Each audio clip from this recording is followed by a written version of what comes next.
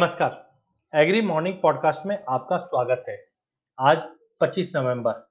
कल के सेशन की अगर बात करें, कल के सेशन में पूरे ही एग्रीडेक्स में हमने एक बड़ी बिकवाली बनते हुए देखी। हमने देखा एग्रीडेक्स के अंदर भी डेढ़ परसेंट की गिरावट के साथ प्राइजेस 1195 के करीब क्लोज होता हुआ दिखाई दिया। और चार तरफा हमने एक सेलिंग बनती हुई देखी, चाहे एडिबल ऑयल हो, मसाला हो, चाहे पल्सर्स हो, चाहे कॉटन कॉम्प्लेक्स हो, और गवार में भी हमने एक दबाव बनते हुए देखा।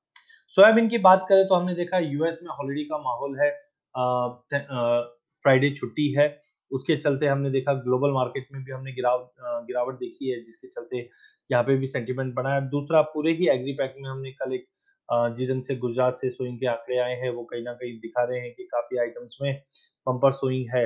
तो उसके चलते चार तरफा हमने सेलिंग बनती हुई देखी। सोयाबीन टेक्निकली भी ड्यू था, जिसके चलते कल सवा दो परसेंट की गिरावट आती हुई देखी है।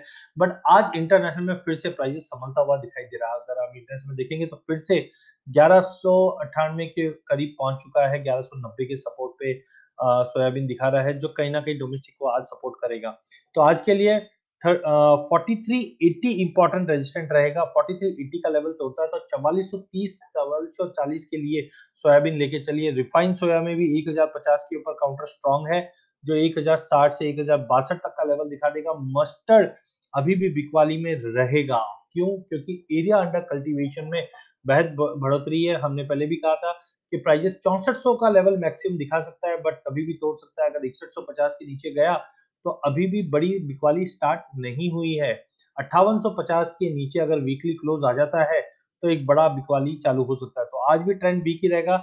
6100 6050 के नीचे जब तक काउंटर है, ध्यान मंदाइए बट 5850 का लेवल ध्यान रखिए। कैस्टर में आज रिकवरी दिखा सकता है। 4720 के टारगेट के लिए लेके चलिए।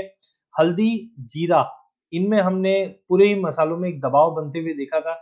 धनिया में हमने देखा कि जिस दिन से स्विंग बढ़ी है ये धनिया को प्रेशर करता हुआ दिखाई देगा, जो छह हज़ार एक सौ एक सौ पचास तक का लेवल धनिया जीरे में इंपॉर्टेंट है, चौदह हज़ार का लेवल अगर आज प्राइस चौदह हज़ार पचास के ऊपर क्लोज करने में कामयाब रहा तो तेरह आठ सौ के लेवल से लेके चलिए। डिस्पाइट ये स्विंग बड़ी है, जो कहीं ना कहीं दबाव ला सकता है बट रेंज हमने देखा तेरह आठ सौ से चौदह पाँच सौ का रेंज है, इसी रेंज में रहेगा। हल्दी में आज दबाव रह सकता है, जो पचपन सौ तक का लेवल दिखा देगा। चेन्नई में कल की गिरावट के बाद आज मार्केट उभरता हुआ दिखाई देगा, जो 50 टू 40 50 टू 50 तक का लेवल दिखा देगा। कुछ न्यूज़ ये भी आ रही है कि प्रधानमंत्री जो एक योजना बनी हुई है फ़ूड डिस्ट्रीब्यूशन में, इसमें एक्सटेंशन हो सकता है। अगर ऐसा कुछ होता है तो प्राइजेस में फिर से पाँच हज़ार का साइकोलॉजिकल लेवल सपोर्ट बनता हुआ दिखेगा। कॉटन सीड ऑयल केक में कल गिरावट थी, आज रिकवरी रहेगी। 2040 के ऊपर लेके चलिए 2090 के टारगेट के लिए। वहीं गवार सीट गवार गम में कल बड़ी गिरावट के बाद आज एक रिकवरी दिखाई देगा। चार हज़ार चार हज़ार बीस के टारगेट के लिए गवार सीट और इकसठ सौ के टारगेट के लिए गवार गम लेके चलना चाहिए। कपास में भी तेज़ी का रुख रहेगा। कॉटन में बीस हज़ार एक सौ का लेवल दिखाने के बाद आज मार्केट में रिकवरी रहेगी, जो बीस हज़ार तीन सौ पचास तक का लेवल दिखा देगा। एग्री डेस्क में आज मार्केट रिकवर दिखाएगा, जो बारह सौ दस के टारगेट के लिए लिया जा सकता है। वही गवार सीट में पहला कैंडल कल ग्रीन का बना है, जो एक पुल बैक दिखा सकता है चार हज़ार तीस तक के लिए, जो फिफ्टी परसेंट रिट्रेसमेंट है।